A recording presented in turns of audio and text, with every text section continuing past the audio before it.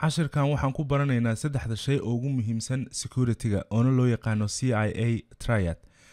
C i a triad waxaa loo soo gaabsaday waa confidentiality integrity iyo availability.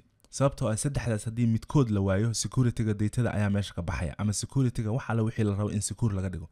Hadda ka soo qaadoo kale haddaan ku hormarno confidentiality oon halhal aan u kor istaagno confidentiality waxaa laga wadaa ka soo qaadoo kale saaxiibka aad aaminsantaha saaxiibka aad sir u sheegatay.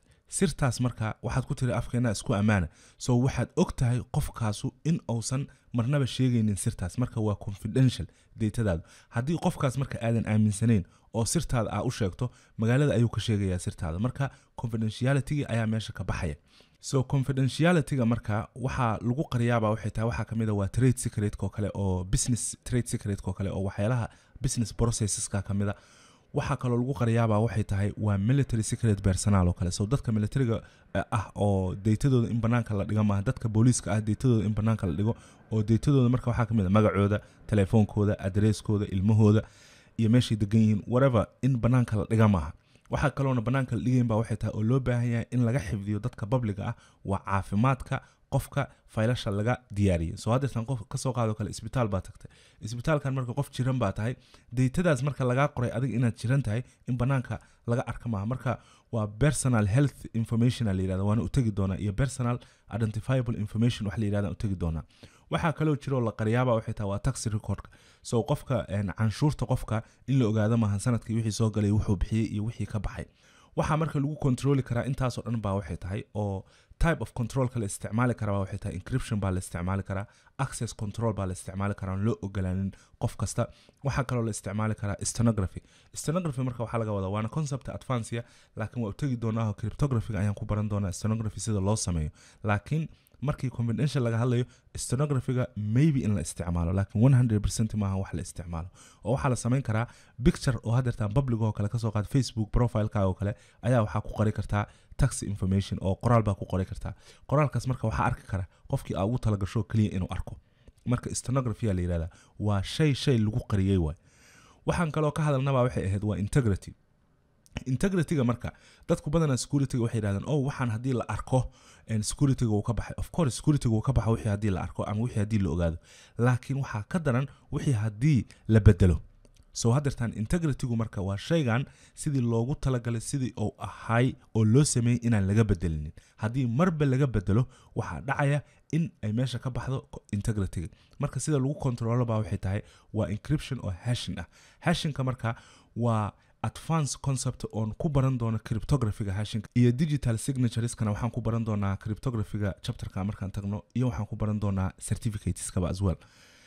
Waxaa kaloo marka aa ku controli kartaaba waxay tahay waa integrityga waa change control. So gacmaha isku dhiibay daytadan in la hubo. So change chain waxa la dhahaa jiro oo baran doono markii aan u tagno computer investigationka markaan u tagno oo sida loo sameeyo digital crime investigation sida loo sameeyo kale change control waxa la yidhahda loo baahan yahay in aad iyo aad loogu taxadaro. So haddii ay gacanta ka baxda marka waxaas valid ma noqonayaan. So hadda ka soo qaado kale qofaa dembi lagu haystaa qofkaas dembiga lagu haysto haddii daytada dembiga lagu haystay combyuterkii haddii combyuterkii windowska laga bedelo waxaa ka baxaya meesha wax alla wixii dembiyo lagu haysto o dhan. Sababtoo ah integrity of the file ayaa la bedelay marka booliiska maxay sameeyaan?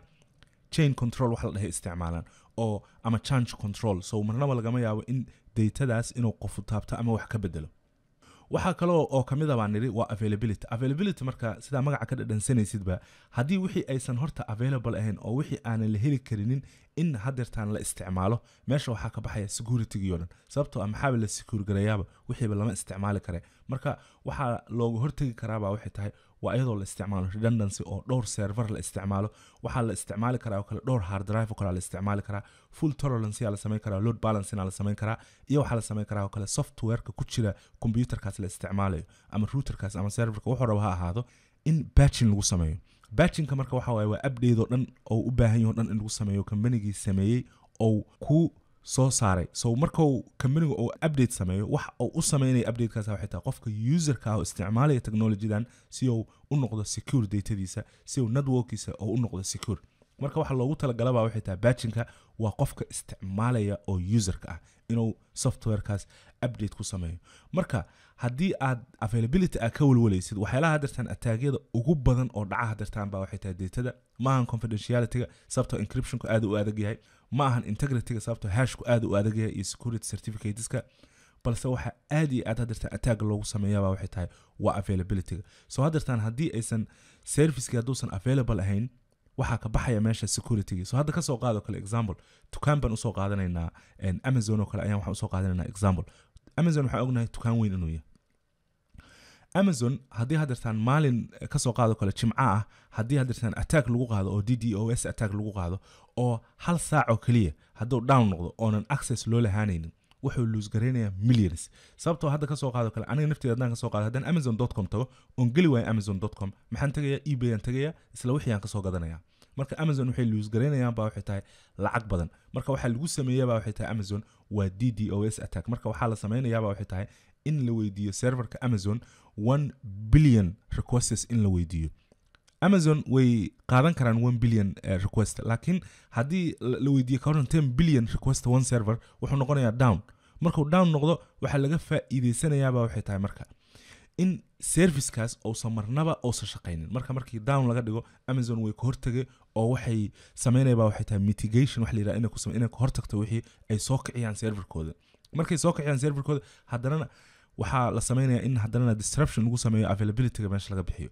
So saa ujeedid waxa waaye waa wax iska daba wareegsanaya waaye oo securityga marnaba complete ma noqdo riskigana meesha lagama bixi karo. Sababtoo amazon haddii riskiga meesha rabta inay ka bixiso computer dhan isticmaalin. Marka hore u sheegay riski lagama bixi kara meesha laakiin waxaa la samayn karaa minimization la samayn karaa. Waxa lagu samayn karaana waxay tahay in lagu dadaalo datada confidentiality integrity iyo availability in lagu dadaalo